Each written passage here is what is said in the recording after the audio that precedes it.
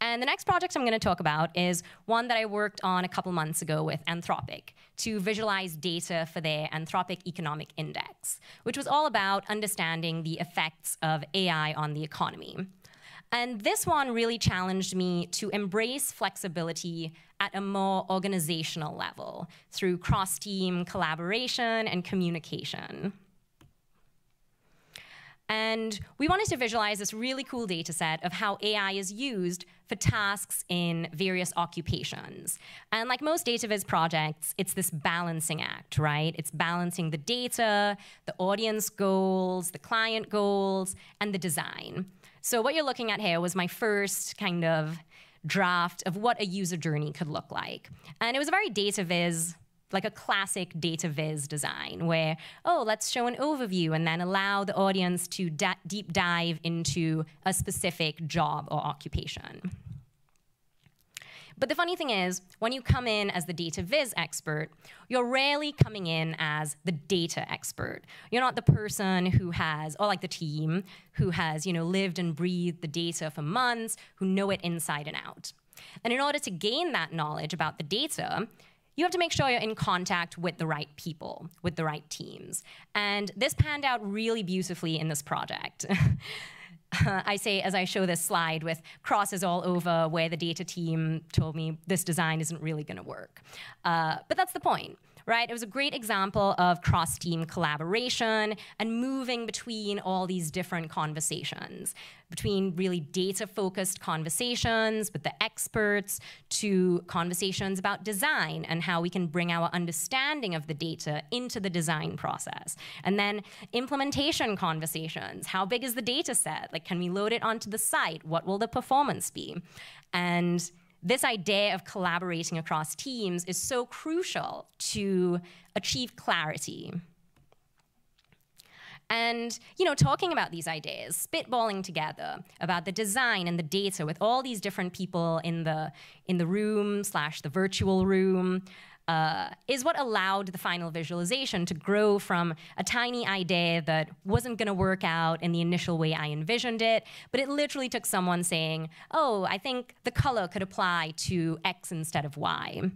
And that changed the whole thing. And it brought us to a great final design that achieved the goals, that was very true to the data, that does provide somewhat of an overview of occupations, and then is also true to the nuance of the data as well. So we still have the detail of the data there, it still achieves the goals, and it's not the flashiest visualization, uh, but I, I do love it because I think it's a slightly fresh take on this type of chart that doesn't typically have each square representing something inherent. But in this case, it does, and it worked so well because we had the nuance of the data here.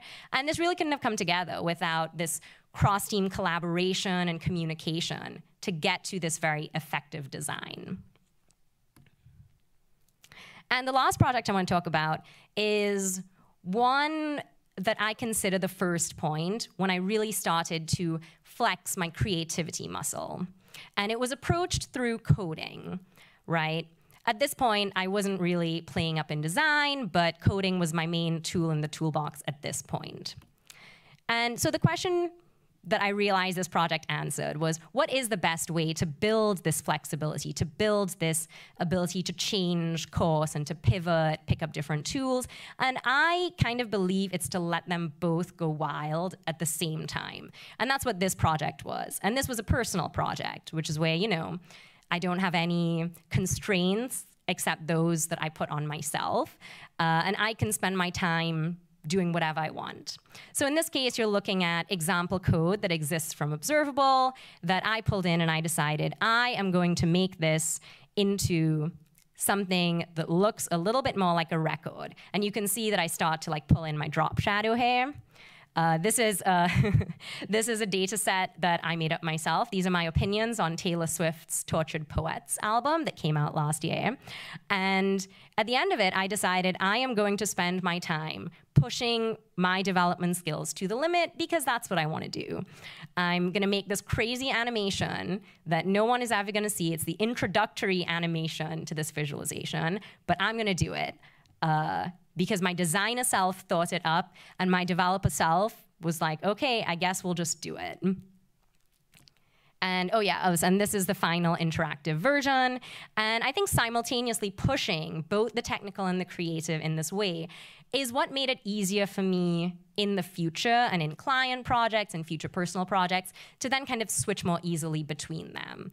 And that's what it takes. It just takes trying it the first time, right? And for me, this was that first time where I really ventured out of my role as a developer, as a technical coder. And so, yeah, this is, I feel like, my takeaway from my experience doing data viz, that it really lies on this spectrum, right? The left brain, the right brain balance, the how can we make data more artistic. Uh, it lies on this spectrum and it requires flexibility and collaboration to really create something meaningful.